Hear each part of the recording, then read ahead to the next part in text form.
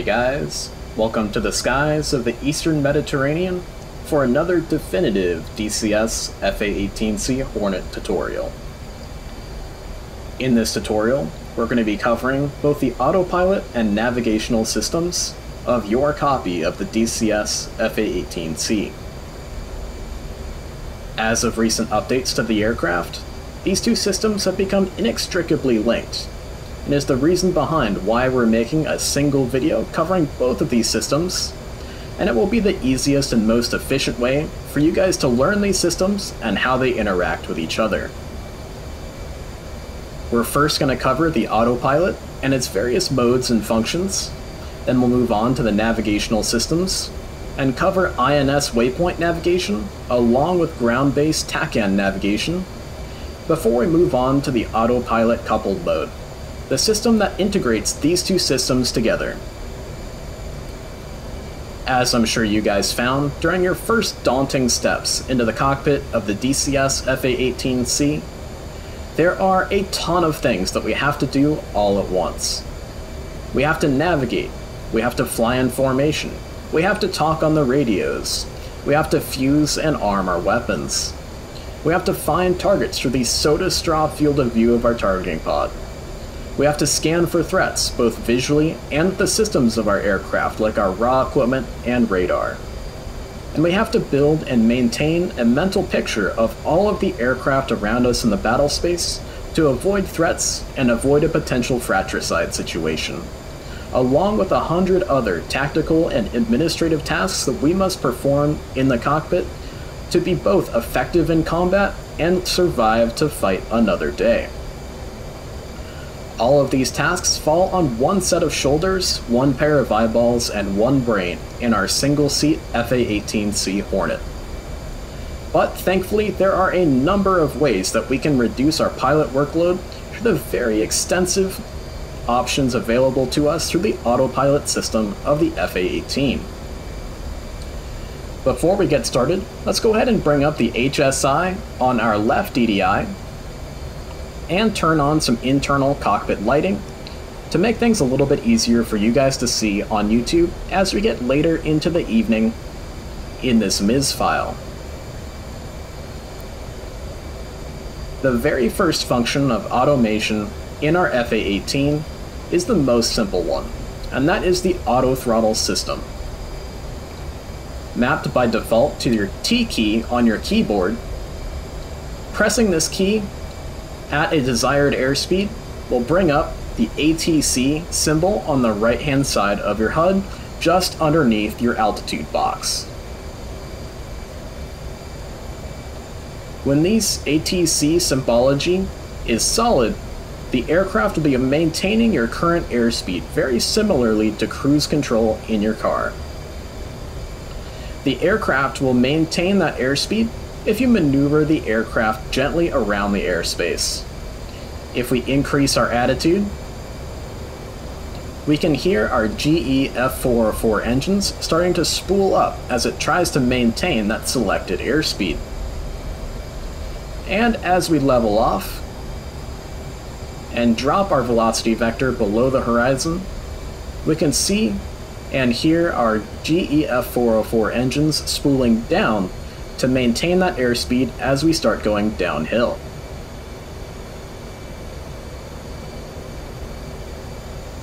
As the pilot, one of the most frustrating things for new DCS F-18C pilots when trying to use the auto throttle system is they find the auto throttle automatically kicks off all the time.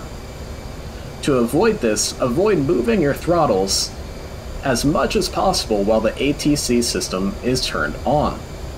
Moving your throttles back towards idle or up towards full mil will cause ATC to start blinking, letting you know that it is no longer maintaining that airspeed due to manual movements of your throttle. If you do not press the T key or press the button that you've remapped to the throttle on your HOTAS to activate ATC, the symbology will disappear, letting you know that ATC is no longer active. Let's push the throttle back up and get back to 350 knots of indicated airspeed before we turn the auto throttles back on. One thing to note about the auto throttle in the FA-18, it is not linked to your indicated airspeed, nor is it linked to your ground speed or true airspeed. It is actually linked to your Mach indicator. And so if you use your auto throttles to maintain a speed while making a steady climb, you will find that your indicated airspeed will drop at a rate of 2% per 1,000 feet of altitude climbed.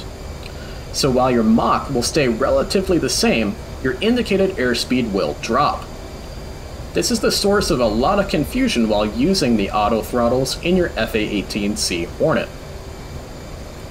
I have a video that explains the differences between indicated airspeed, ground speed, true airspeed, and Mach if you'd like to check that out in the link in the description down below.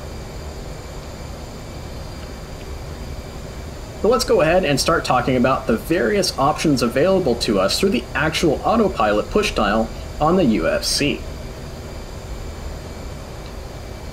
Pressing the push dial will bring up a number of options on our ODU or option display unit. The simplest of these options is the very first one up top, ATTH or attitude hold. To turn on an autopilot function, all we need to do is press on the option select button on the left hand side of the ODU. A semicolon will appear just to the left hand side of the symbology for that option. That lets us know that that option is currently turned on. Attitude hold mode is like flying your aircraft with a very dampened out version of your FCS system in the FA-18. You can bank and increase the pitch or decrease the pitch, and wherever you let go of the stick, the aircraft will automatically maintain that attitude and bank, allowing you to fly hands off during a prolonged climb or a prolonged turning climb or prolonged turning descent. It would be a fantastic option to use if you're leading a formation of FA-18s. An ATC or a GCI controller comes over the radio and tells you Spud 1-1 flight, climb and maintain 15,000 feet. At which point we would return, climb to maintain 15,000, Spud 1-1 in flight. Or something of that nature. So we'll go ahead and have our autopilot climb us up to 15,000 feet while maintaining our auto throttles turned on. We can see on our IFEI that we're almost at full military power thanks to our auto throttles, while our throttle itself, sitting in my hand, is in the very center of my throttle quadrant.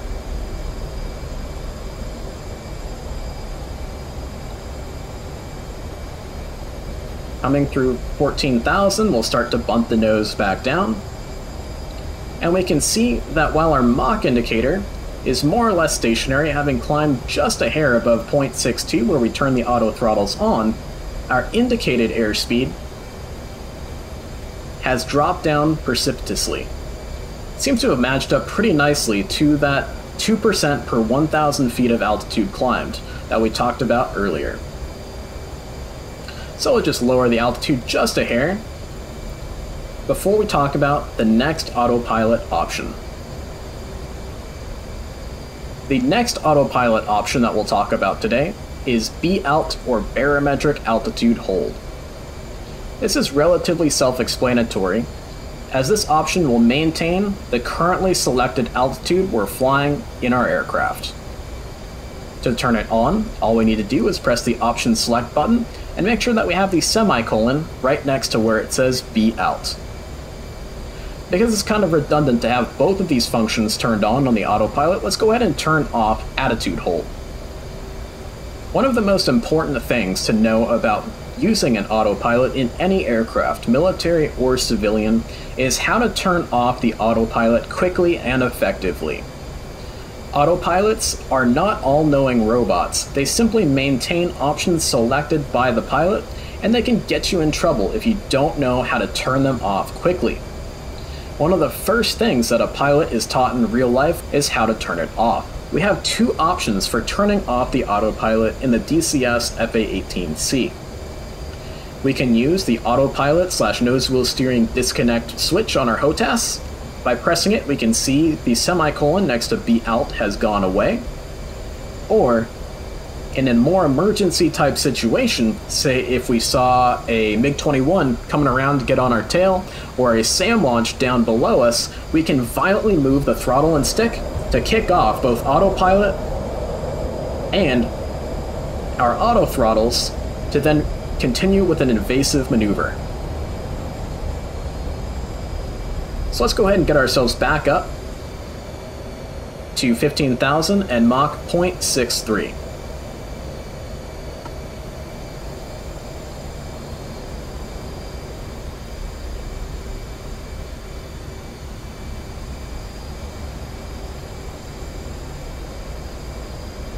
R-alt, or radar altitude hold mode, is the next option below B-alt. Keep in mind that this is not a terrain following mode like you would find in, say, a F-111 Aardvark or an A-6 Intruder. Using radar altitude will maintain your current radar altitude above terrain, but is not as high fidelity or as perfect as the terrain following modes in those two aircraft previously mentioned. So don't think that you can use it to fly through the mountains in zero zero conditions at night without smacking into the side of a hill. The next mode we'll talk about is heading select mode. Heading select mode is the first of the autopilot modes that require a little bit more work from you, the pilot. Heading select will automatically fly the aircraft to the currently selected heading of the heading bug on your HSI. This symbol of the heading bug on the outside of the compass rose of your HSI looks very similar to a heading bug on any aircraft, both military and civilian. To move the heading bug, we can come down to the pedestal for MPCD, and on the top left, we have the heading select switch, where we can move the heading bug by pressing and holding, and we can make fine adjustments to our heading selected in one degree increments by clicking on the heading select switch. We can see the currently selected heading on the bottom left of our HSI. Currently it's at 036 degrees. If pressing and holding and then clicking is too difficult or imprecise for what you need it to do, all we need to do is go to our ODU. After pressing and holding the heading or course select button, we should have a CSEL for course select and an HSEL for heading select. Press the option select button and input the heading that you desire. We entered 090 degrees and we can see our heading bug has automatically snapped to due east on our compass rose. To get back to our autopilot's functions, we simply press the A slash P push tile and on our option select button for heading select, we press it and the aircraft will automatically fly us to a heading of 090 degrees or wherever you placed that heading select bug. We're starting to get later into the evening and we're seeing some bloom up here on our HUD, so let's reduce our HUD brightness just slightly to make our symbology nice and crisp and easy to read. I highly recommend that you place your heading select bug on the heading that you desire to fly to before turning on your heading select option for your autopilot. The heading bug will automatically be placed at 360 degrees on startup of the aircraft, so turning on heading select without moving your heading bug first will automatically fly you to a heading of due north. The aircraft should start to roll out,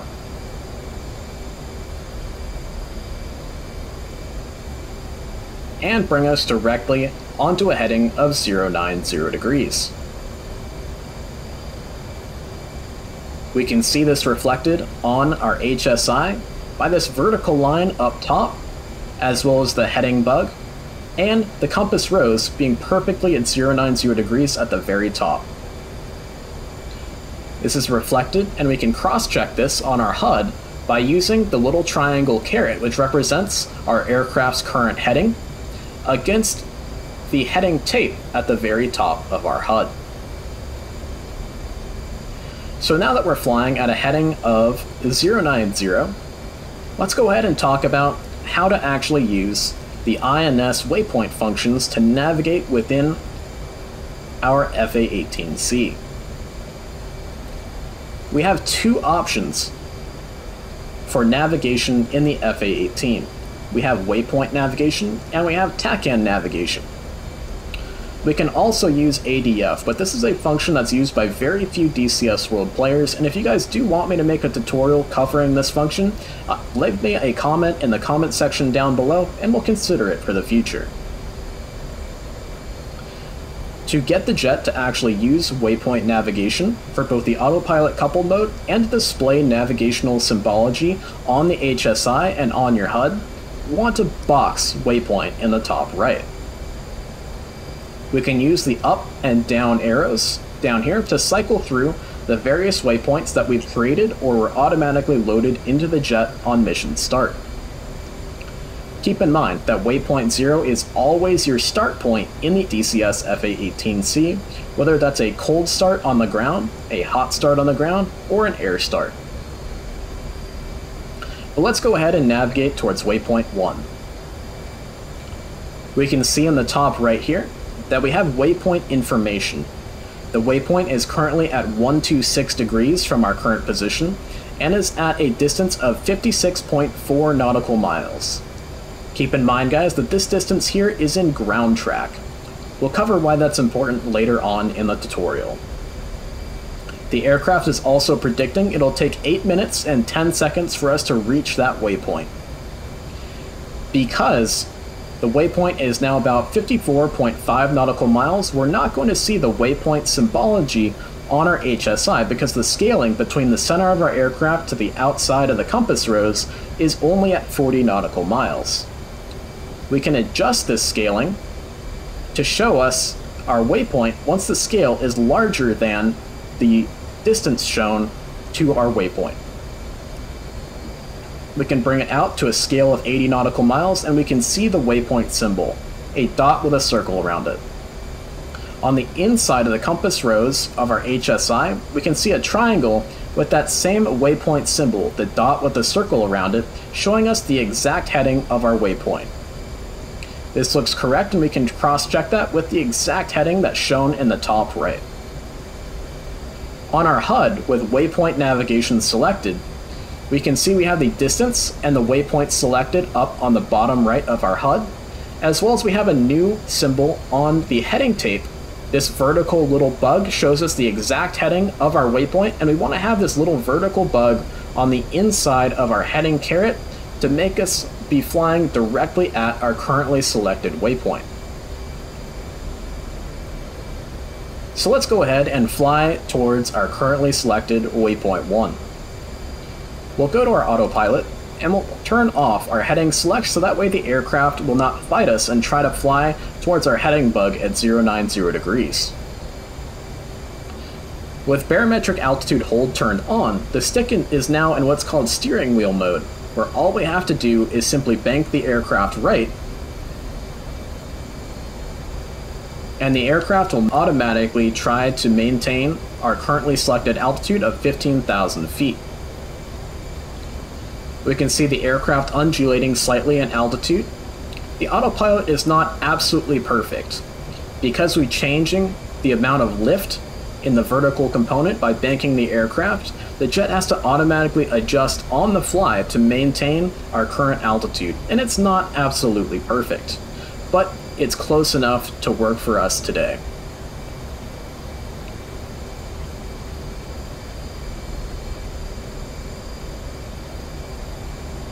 as we start to get closer, once we're within about 5 degrees, we'll go ahead and start to roll the aircraft out.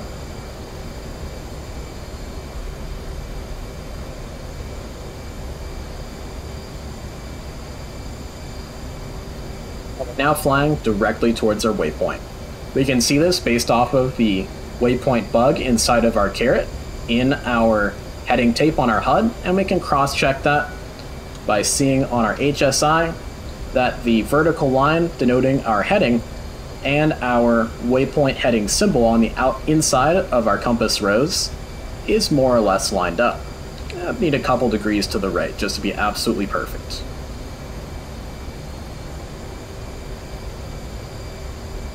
Awesome. So with that, why don't we go ahead and turn on our TACAN systems. To turn on our TACAN systems, we simply need to press on the TCN or TACAN push tile, press and hold the on-off button for approximately one second, and we can see that we do not have a TACAN station locked or selected by these lines on the outside of our compass rose on our HSI spinning around. So let's go ahead and load in 107, enter, for the TACAN station at RAF Akrotiri. We know that we have a TACAN station inputted and locked when we have the TACAN symbol appear on our HSI, as well as we have the triangle with a T in the middle for TACAN pop up and is stationary on the outside of the compass rose of our HSI. We also have the same information that we have for our waypoint up in the top left, but for the TACAN station. The current heading towards the TACAN station, and if we subtract 180 degrees from that current heading, that'll be the radial we're on from that TACAN station. Then we've got the DME distance, which is slant range, which we'll talk about in a little bit. And then we have the current time it will take us to fly to that waypoint, or to the TACAN station. And then the TACAN station's call sign of AKR for RAF Akrotiri. Let's go ahead and now talk about the coupled mode of the autopilot for our FA-18C Hornet. Coupled mode of the autopilot will automatically fly us to a selected waypoint or selected nav aid, like RAF Akrotiri or Waypoint 1.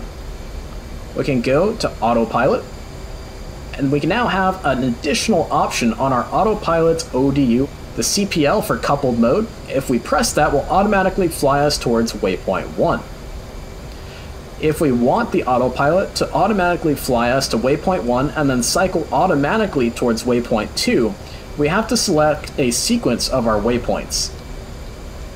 Sequence 1 button down here, if we press it and box it, will automatically sequence us to fly through the waypoints in numerical order, from 1 to 2 to 3 to 4, and so on. Pressing the auto button down here and boxing auto will automatically cycle those waypoints once we fly over them. We're going to have our autopilot automatically fly us to waypoint 1. The sequence is 1 to fly us from 1 to 2 to 3 to 4 to 5, and it will automatically sequence with autos boxed down below. So we'll go to the autopilot options once more on the UFC, press the coupled mode, and the aircraft will automatically fly us towards waypoint 1.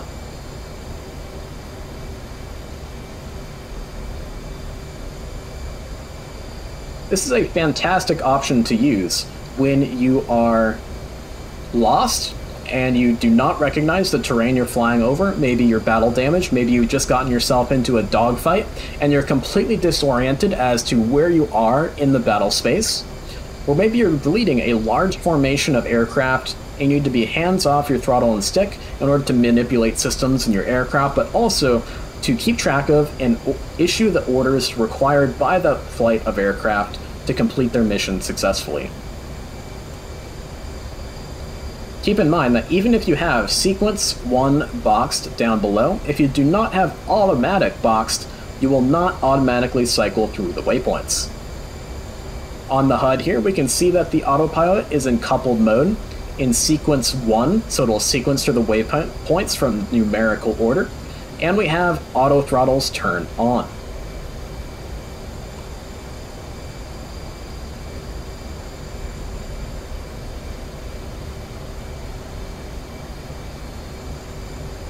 Keep in mind that autopilot coupled mode will get more and more sensitive and will start to rock the wings slightly the closer you get to your waypoint. We can see that the coupled mode on the autopilot also decided rather than flying all the way to on top of waypoint 1, it would fly by waypoint 1 and then automatically cycle to waypoint 2. So it's leading this very tight turn that we needed to make in order to bring the aircraft towards waypoint 2.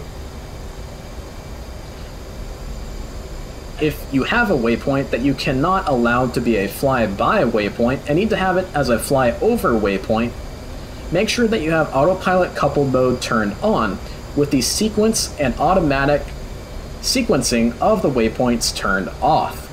This will allow you to fly directly over the waypoint in coupled mode automatically, then which you would manually cycle to waypoint 2 and turn the autopilot coupled mode back on to cycle it automatically to fly to waypoint 2.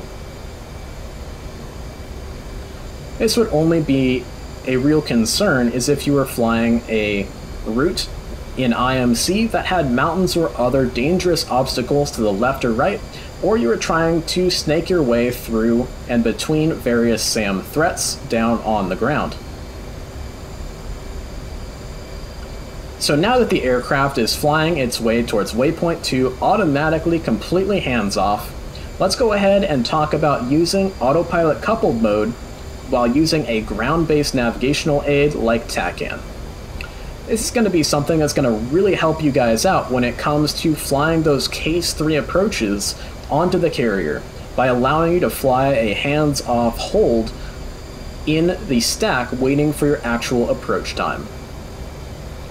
If you guys would like me to go in depth on a tutorial on how to fly a hold in the FA-18C or to do a Case 3 approach in the FA-18C, definitely sound off in the comment section down below. So let's go ahead and open up the F10 map and we'll find RAF Akrotiri. TACAN station is right down here. So let's go ahead and figure out a good radial for us to intercept and fly inbound on. I'm thinking the 070 radio will be a really good uh, radial for us to intercept and have autopilot coupled mode automatically fly us on in towards RAF Akrotiri. So, first thing we want to do is we want to go ahead and box TACAN on the top left to make TACAN our main navigational source as opposed to our INS waypoints that we currently have selected up here. We need to first turn off the coupled autopilot mode before it will allow us to box TACAN on the top left. So we'll turn off coupled mode, and we can see the wings kind of relax a little bit as the aircraft is no longer trying to input any wind correction via the autopilot and keep us on track towards waypoint 2. We can now box TACAN, and without a course line or radial selected via the course select function on the top right of our MPCD pedestal, if we turn on coupled mode, the aircraft will automatically fly us directly towards the RAF Akrotiri TACAN station.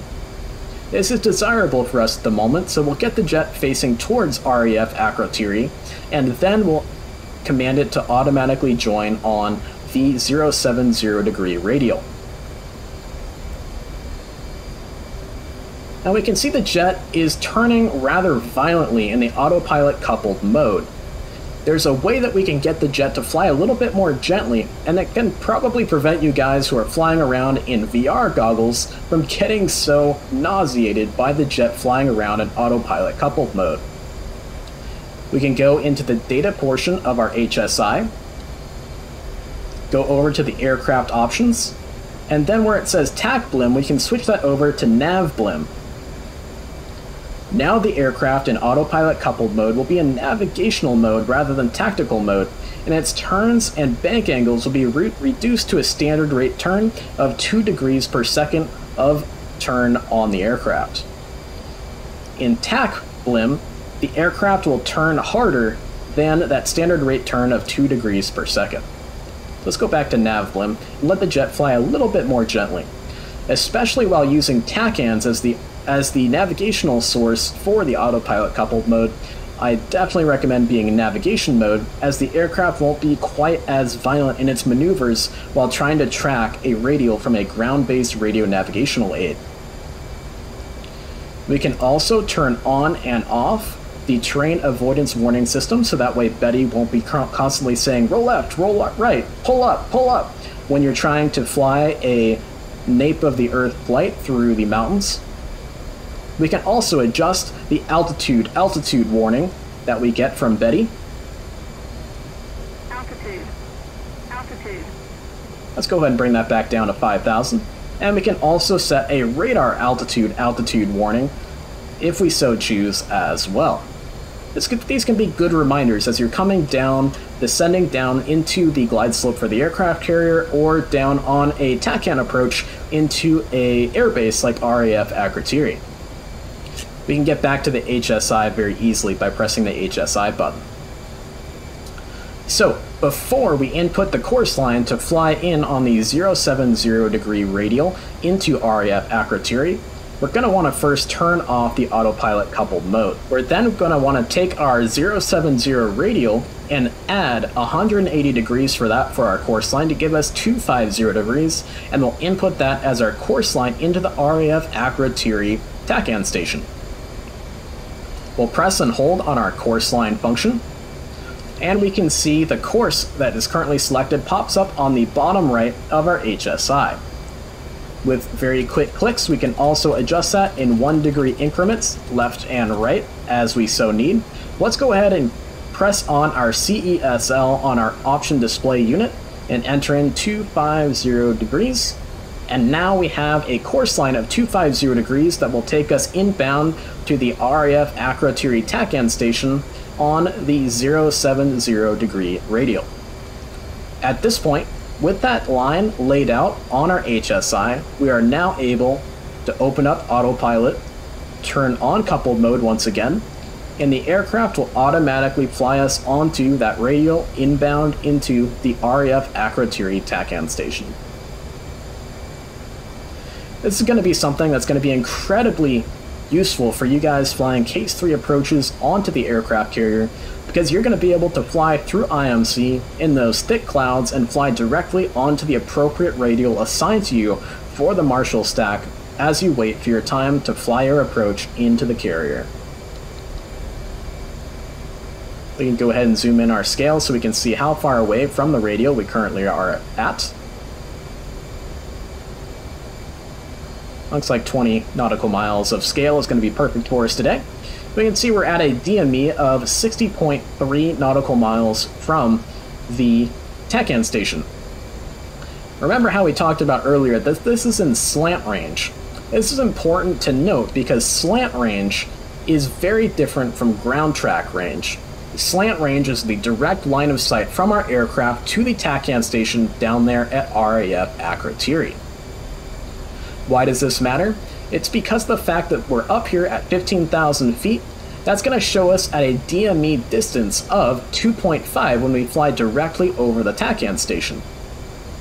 This is because the way we get DME information from the TACAN station is it's a call and response system.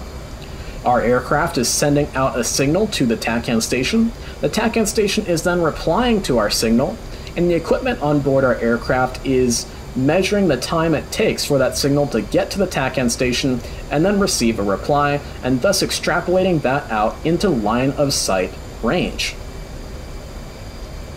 So, DME distance or slant range distance to a TACAN station is always going to be slightly farther away than it would be if you were using ground track range like is used for waypoint navigation uh, via your INS and GPS systems in your FA-18C Hornet.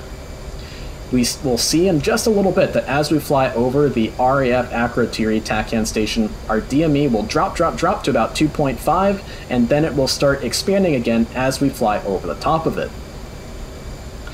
A lot of people ask me, why, Spud, is TACAN turned off by default when you start up an FA-18 or hop into a air-started FA-18? The reason for that is because that call and response system to get DME information from the TACAN station can be tracked by bad guys to actually track and plot our course through the air by using that call and response signal that we're sending out to the TACAN station. If we turn our TACAN to receive mode, we will get the same information about the course and heading to the TACAN station, but we will no longer be receiving the DME. However, the bad guys can't track us, so this can be a good way to find the aircraft carrier without allowing the bad guys to track your position potentially, but you'll not get, be able to get that DME information, and we can see it kicked off our autopilot coupled mode and destroyed our course line. Turning transmit receive back on, our jet is now going to fly directly towards the TACAN station once again. Well, let's go ahead and input that course line again and have us fly on that 070 degree radial directly into the Akrotiri TACAN station.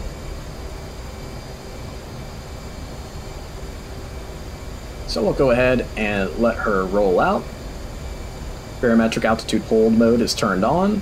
We'll put in a course line, 250 degrees, autopilot, coupled mode, and the jet will automatically fly us back onto the course line.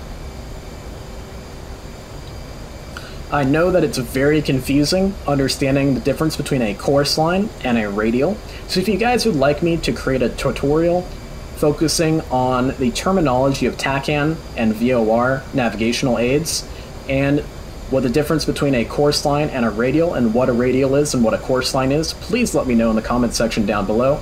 I'd be happy to make a tutorial to help you guys understand the differences there. We'll see that as we intercept our course line, the jet is probably going to blow right past it and then attempt to bring us back onto it. The jet is going to undulate slightly left to right as it tries to hold the course line. It's going to be very similar to then if you were flying it manually and you're kind of undulating left and right, zigzagging your way onto the course line. Then as we get closer and closer to the TACAN station, the autopilot is going to get more and more sensitive in the same way that the radials and the distance between the radials are getting closer and closer and making our navigational equipment more sensitive. So it is definitely a very funny and interesting, and it's making the same kind of errors that you would make if you were flying the aircraft manually. So it's very interesting in that way.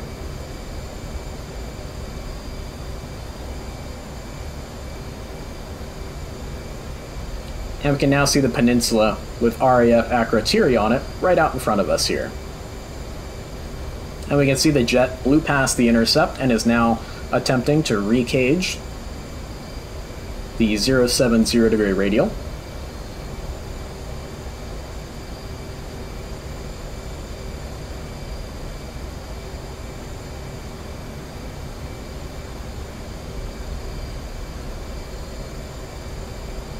We go. It now knows that it's back on the course line. It now has to bring our heading back to that 250 degrees to keep us right on the 070 radial.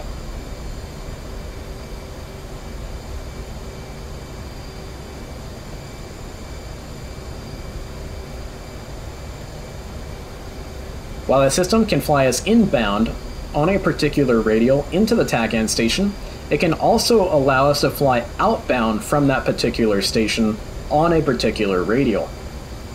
This is where it's really going to help those guys who are flying those Case 3 approaches on the aircraft carrier. Because it really doesn't matter which radial you approach the carrier from, unless ATC from the carrier gives you a specific radial to approach on. But what really matters is the outbound radial at which you fly on to go out to get into your place in the Marshall stack.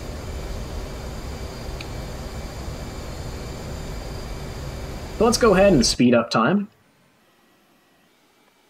And we can see the jet just slowly undulating left and right as it attempts to maintain the 070 degree radial. We can see the jet's not flying directly on the 250 degree heading into the station, and that's because it's probably accounting for some wind drift that we have up here.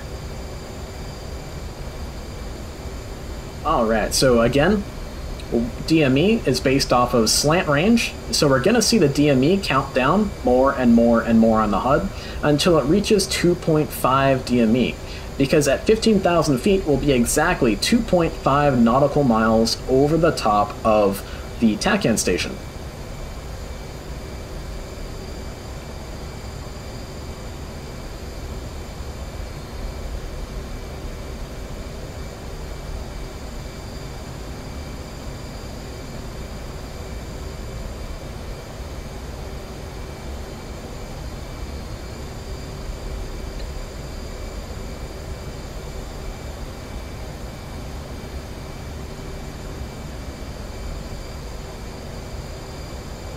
We can see the jet just got very confused as we flew directly over the top of the TACAN station, and it's now flying us outbound on the 250 degree radial away from the TACAN station.